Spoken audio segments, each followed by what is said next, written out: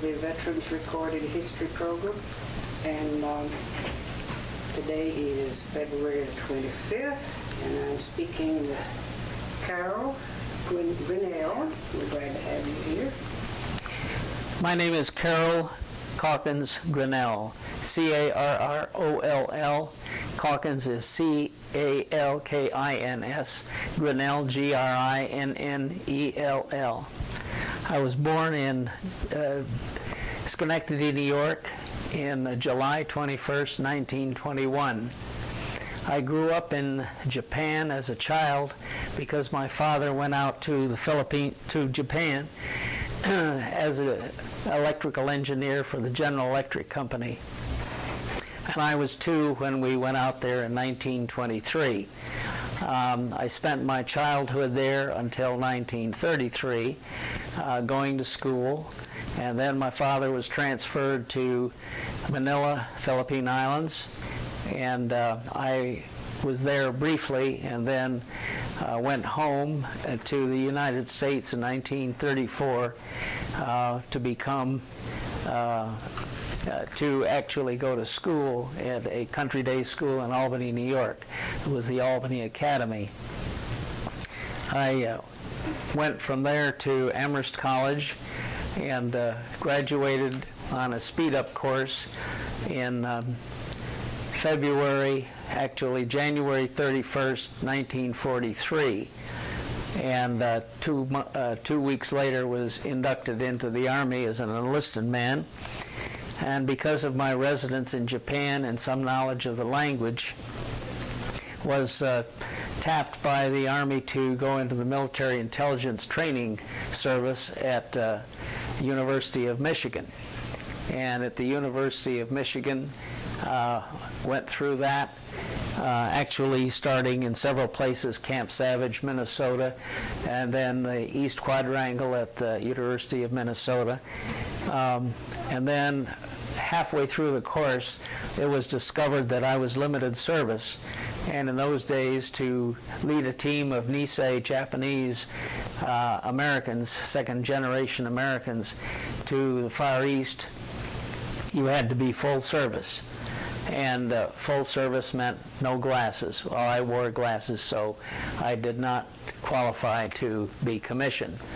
However, the commandant of the uh, intelligence school uh, transferred me to the military intel or to the medical administration corps and uh, their uh, OCS at Camp Barkeley, Texas.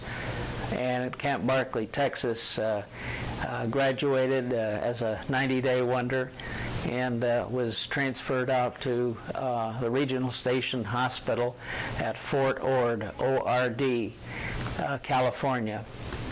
Uh, this institution has been dismantled and no longer exists. But I was out there until I was discharged. Actually, I entered service February 14th, uh, 1943, and was discharged in June of 1946. I do not know the exact date, but uh, during that time, uh, the, that I was in the Army, I spent most of the time out in uh, the regional station hospital, first as a dental supply officer and then ultimately as a uh, personnel officer at the hospital. Um, at the time, I was married uh, to my first wife, who was a uh, gunnery instructor, uh, a wave uh, in the Navy and uh, her experience there was quite uh, uh, interesting at uh, Treasure Island and San Francisco Bay uh, because at that time the people she was training for the Navy were stationed on freighters um, with uh, anti-aircraft gun, guns as a protection, and many of those ships were sunk and uh, the same people that she had trained once came back. It was a very depressing time. The most interesting thing I think about my history has to do with my father, because at the outbreak of the war, uh, in, on December 7th with the Japanese. Um, he was in the Philippines, and uh, the records show that uh, Manila was captured on December 9, just two days uh, later. Um, he was scheduled to come home uh, at, to the United States, but uh, the Pan American clipper ship that he was scheduled to go on was machine gunned and sunk by the Japanese in uh, Hong Kong harbor. So he was interned uh, at Santo Tomas, that's T O M A S, University in Manila. And he uh, was in there for three and a half years. Um, uh, and his position there was civilian commandant of the, the camp, uh, had anywhere from four to 6,000 people in it. And he was um, also uh, surreptitiously uh, getting money, uh, company money, which he had uh, uh, he had hidden away at the time of his internment. He was using this to buy uh, food and drugs for the internees.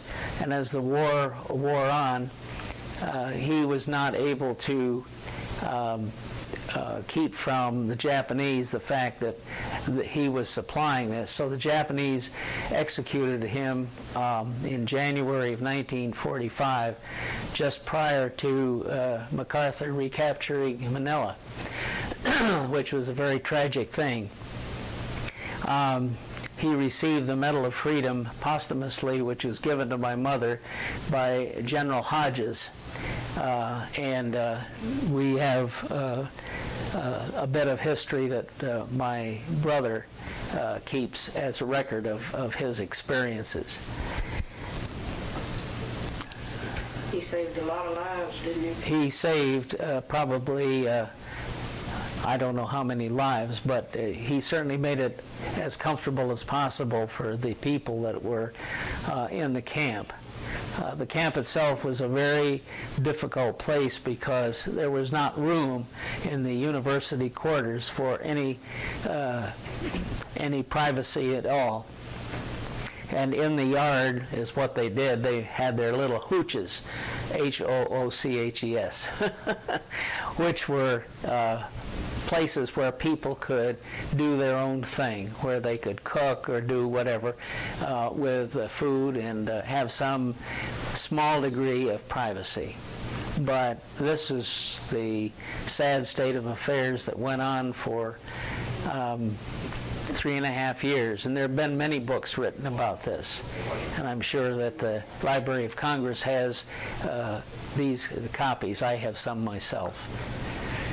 When you were growing up, uh, did you speak Japanese? Uh, as a child, it's very easy to learn language, and uh, even uh, without language, uh, children learn to play together. Uh, but uh, we, I spoke some Japanese, and I recently went back to Japan in May of 2003 to see it for the first time in uh, 70 years that I had left, since I'd left.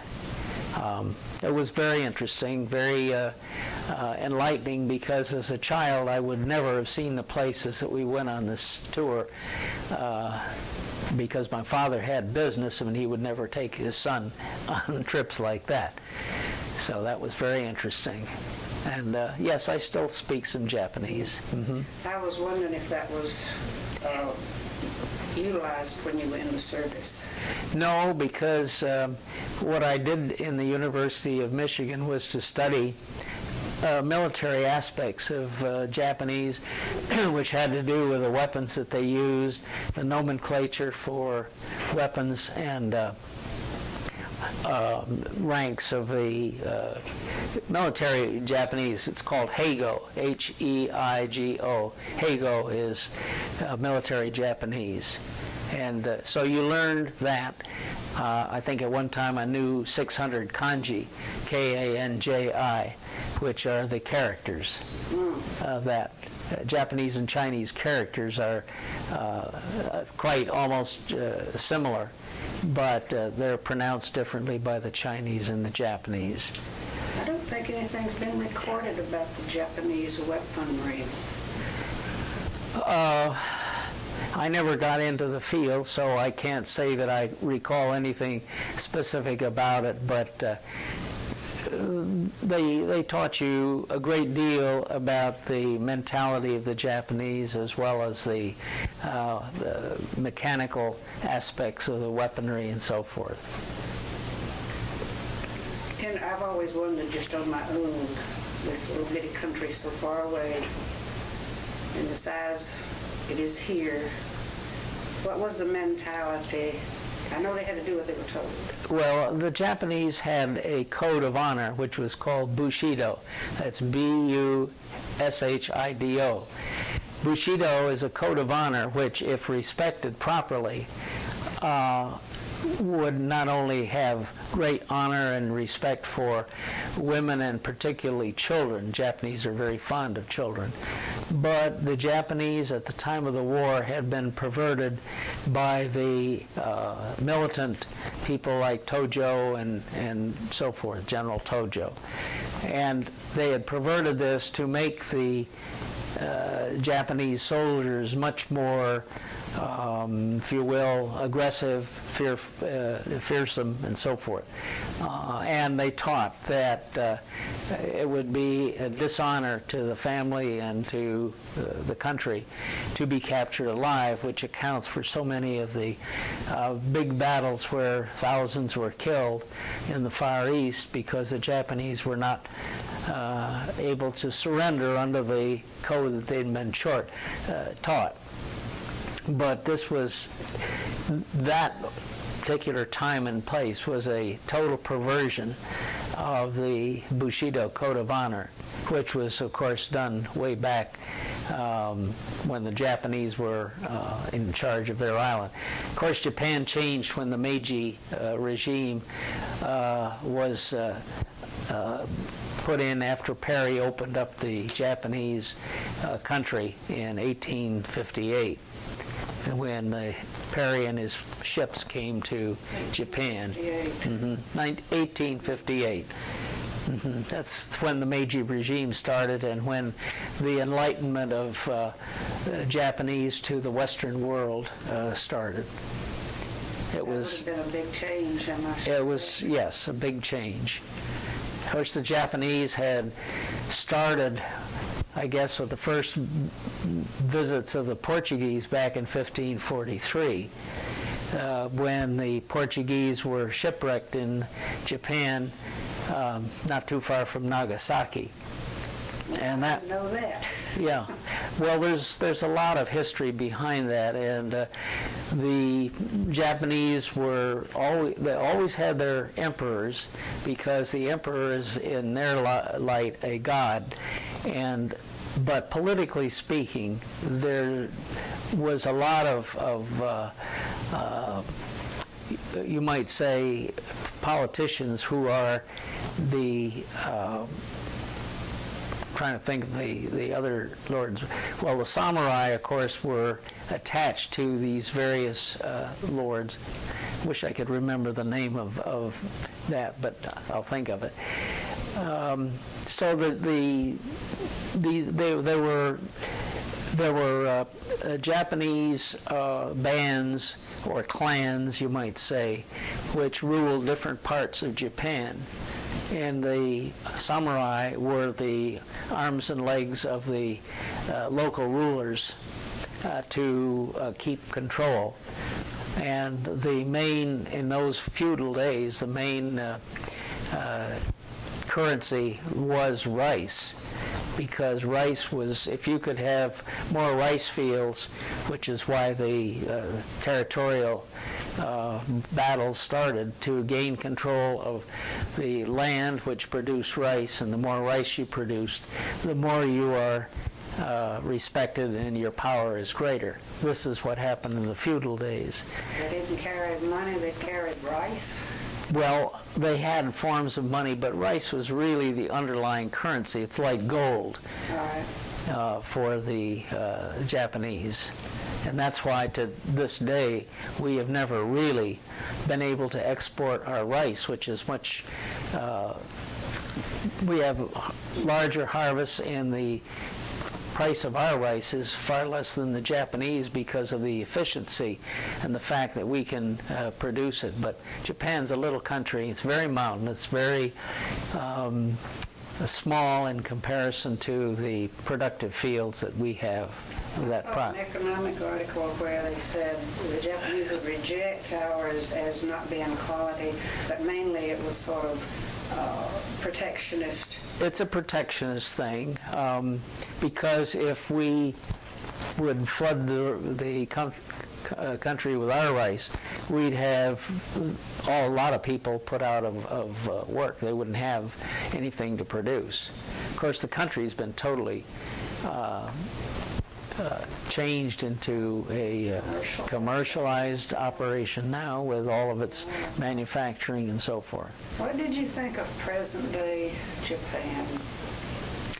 Well, going back after all this time has been a uh, revelation in a lot of ways, but on the other hand, you recall things and you respect what you've seen as as part of history. And uh, uh, we went to a gold mine on the island of Sado, S-A-D-O, which uh, is where the prisoners that were exiled had to work in the very hot and sweaty gold mines, uh, bringing up gold. We saw a lot of things that I would never obviously have seen as a child. I'm sure. Um, Let's see, Fort Ord Station Hospital, and you were there during the year service years. Yes, actually, after I uh, after I was commissioned uh, at Camp Barkeley, Texas, we went to Fort Douglas for re uh, for uh, assignment, and from there went out to Fort Ord. And Fort Ord is was a huge uh, armored camp. This was es- essentially for um, field artillery and armed uh, armory tanks. And uh, it is, as I say, is no longer in existence. Um, Could you tell us about a couple of your own memorable experiences? Uh, You did not have to go overseas. You were I was not, uh, yeah, because I, I could not uh, be a part of the military intelligence. Uh, the, the concept of uh, military intelligence in the Far East was that you would be attached to a regiment or uh, a division or an army, whatever, to do interrogation of Japanese prisoners. And then uh, ultimately, if Japan were to be uh, occupied, to be a part of AMG, American Military Government. Uh, Of course, none of this happened, but that was the concept. Uh, They uh, commissioned quite a few people uh, in this uh, service. A lot of them were Harvard graduates and um, people who had studied Japanese or been in Japan. And uh, I met up with uh, a couple of my classmates at different times in the same thing. That must have been interesting too. Uh, I don't want to leave out any of the important things. How did you stay in touch with your family? Well, um, as far as my father was concerned, he sent us several heavily censored postcards. That was about the limitation. Uh, of course, not going abroad, um, letters or phone calls were the way to go for contact. And uh, do you recall the day your service ended? Um, it ended actually in uh, Fort Dix, New Jersey.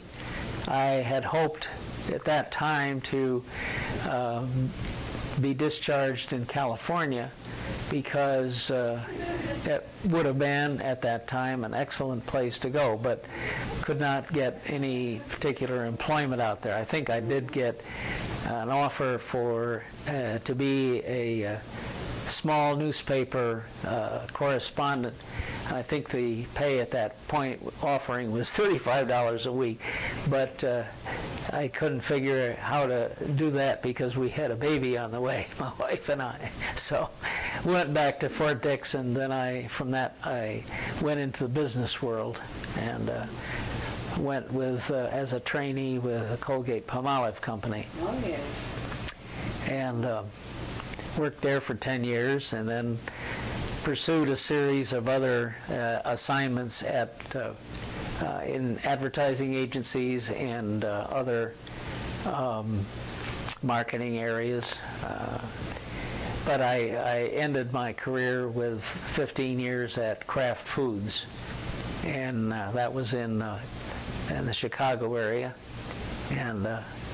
From that time, after retirement, went out to California again. went to uh, Santa Barbara. Yes. And Santa Barbara is a, a wonderful city because it's uh, got all the cultural uh, advantages of Atlanta, but the size is much smaller and the weather is very stable. Uh, weather is always between 70 and 80 and very dry, and you've got the sea and the mountains right there. You like California? Um, so you went right back to work. You didn't put the GI Bill to use I had completed my college training already. Yes, see, what I did was to take a speed-up course in the summer of 1942 and then graduated in uh, January 31st, 1943, and two weeks later was in the Army. So a deferment is what I got at that point. You didn't lose any time. um, how did the military experience influence your thinking about the war or about the military in general? I don't think it had any great impact on my thinking simply because I was doing essentially a, uh, a paper job, a desk job, and to me that was uh, not too different except in the venue of uh, being uh, uh, part of the Army as opposed to being in, in business. Had, have you had a chance to keep up with any of the veterans organizations or do you attend? I don't attend any veterans organizations. I try to keep up with uh, people that I had known in Japan. Uh, it's of interest that uh, one of my classmates when I was in Japan in the fifth and sixth grades, uh, I saw him again in college. He'd never been to the United States because he'd always lived in the, there, but uh, he was a Caucasian, an American, and uh, he is now married to a Paraguayan uh, lady and lives in Quito, Ecuador, and at one point in his recent history became the honorary Japanese consul for Ecuador because he spoke Japanese and uh, Spanish and English fluently. So Gracious. that's, just an example of some of my people. um, I think you've already answered this. How did your service and experiences affect your life? It's your Um, business, I. I guess I could say that I met my first wife because she was a, co- a uh, uh, co-ed at the uh, University of Michigan, and because of the dearth of men, uh, she eventually uh, uh, decided before, I guess through her sophomore year, that she would go into the Navy, and became a wave, and as I say, became a gunnery instructor for the Navy and uh, at Fort Ord, uh, not at Fort Ord, at the uh, uh, Treasure Island. And so at Treasure Island, we were we were married in 1945, just toward the end of the war. And then you had a child. And then we had a child uh, who was born in 46, and I have three children, hmm all all in their 50s. Yeah, you don't have to. One man said he didn't get a good night's sleep till his children were grown up.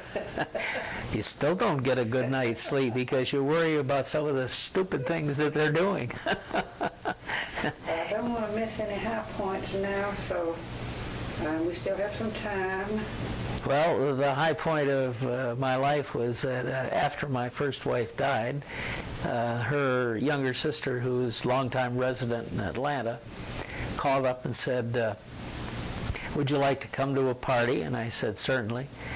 So I came to a party at the driving club and uh, met a fine bunch of ladies and so forth, uh, couples as well as singles, but there were about six or seven singles and I had my choice. And so we got married. And that's why you're in Atlanta, GA? hmm And I've been married 11 years. Something I was going to ask you about Japan. Well, I was so impressed that you knew them both languages.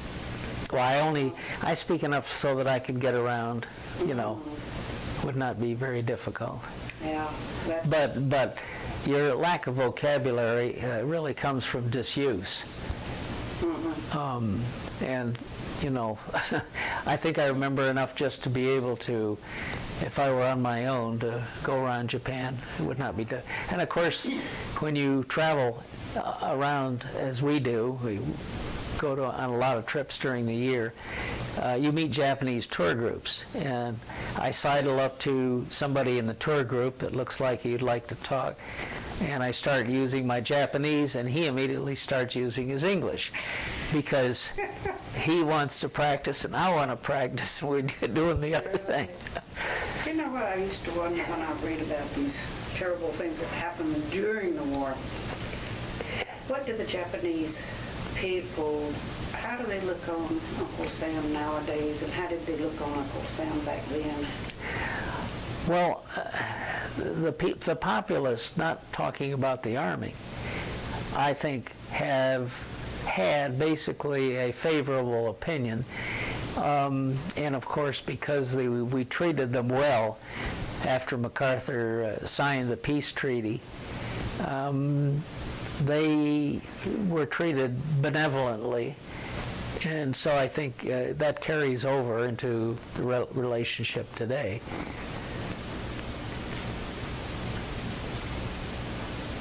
Let me see, what else is here? Well, Uh, did you do any further traveling while you were in the service? Uh, no, um, except, you know, the usual transportation wherever they send you, but no, there was no uh, extracurricular travel at that point.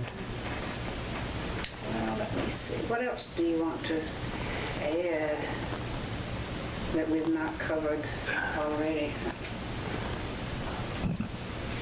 I can't think of anything significant here. The military service didn't particularly affect your career, No, no. so, uh, Um, as I say, three and a half years is not. There's no there's no impact on on civil on civilian life, you might say, as a result of what I served as.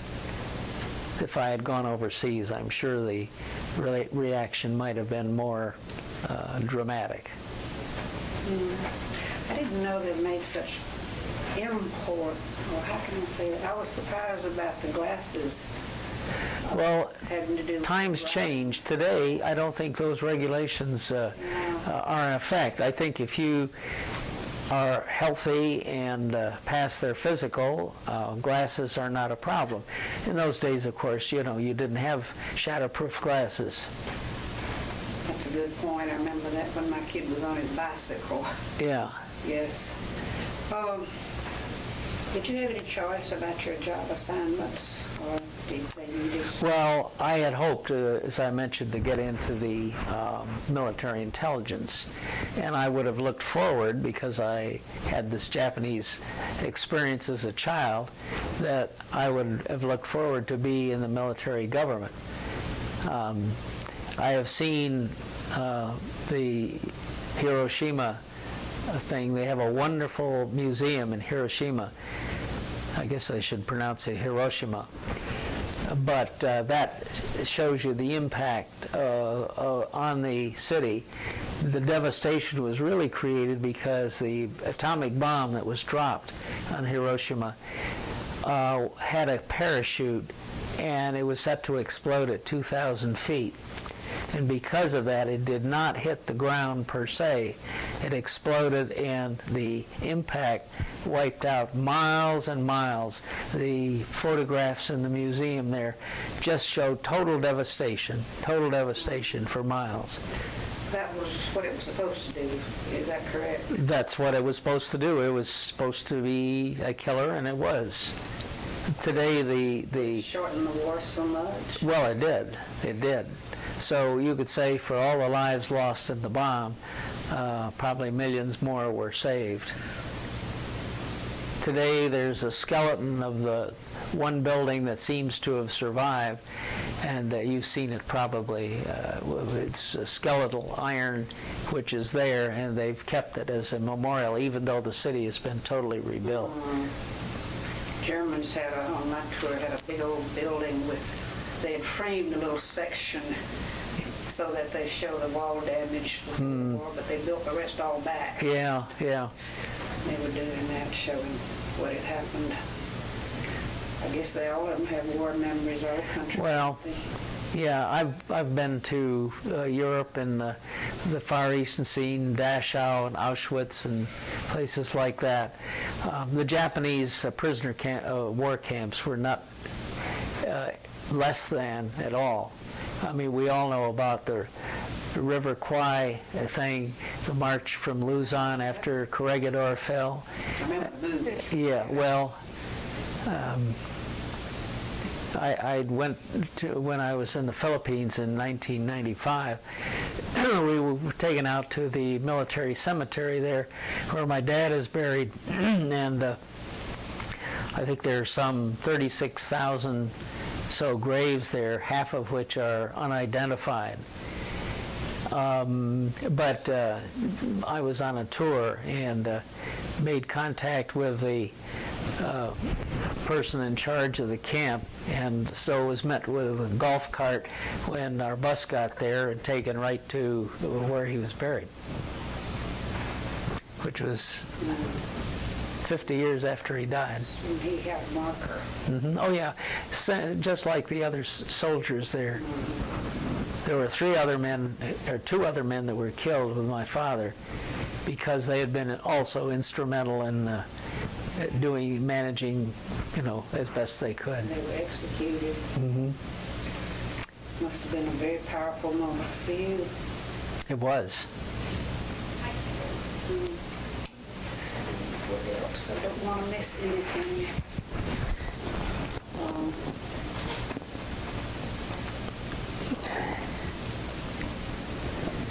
Well, I don't think I have anything here that is in my short write-up. I guess uh, they're going to photocopy some of they? Uh, I- If they would wish to, that's fine.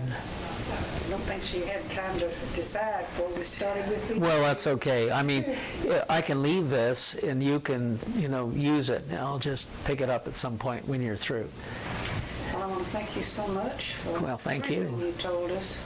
And I've always been curious about Japan and the people. And Well, I suggest you go. well, I heard that the streets did not have the same numbering that we have, like no numbering, and I would get lost. I, I can't tell you about that, but there must be something magic about the way their uh, post office people know how to find something. I had a friend who went over there. She said she went over there to study art. She went for the uh, travel experience. Mm-hmm. She said you write down your address and somebody will help you find your way home. Mm-hmm. But she never went out except on the weekends because there was such a crowd, such a population. The nice part of my, yeah, well, the nice part of my tour was that because you not only hit big cities, but you hit small towns and so forth, we actually cir- uh, circumnavigated the four islands, the four major islands of Japan, which uh, are Honshu, Kyushu, Shikoku, and uh, uh, Hokkaido. That was quite a tour. Yeah, uh, that was the uh, tour with the uh, Tauck Tours, T-A-U-C-K. What was the most impressive thing about that tour that you picked up that was surprising? Oh, I guess seeing uh, the effect of the bomb because uh, that. But you know, Nagasaki was also bombed, a second bomb, and it turned out that Nagasaki was not at all destroyed because the bomb was. It did not fall where it was supposed to. Uh, it actually fell on the other side of a mountain which uh, protected uh, the city and destroyed a Catholic church, but it did not uh, really have the devastation of, of on people and homes the way the one in uh, Hiroshima did. Yeah, it missed the mark. Was Yeah. there a particular explanation about how that happened? I never found out any explanation. But it was a deciding factor, wasn't it? I think the fact that we did it twice reinforced the the seriousness of the thing, the uh, Japan itself. Well, I want to thank you again. I get so involved with this. It's such interesting How many have you done? Uh, let me get one little look-see here. Yep. Maybe. Your light is still blinking. I know. Is it red?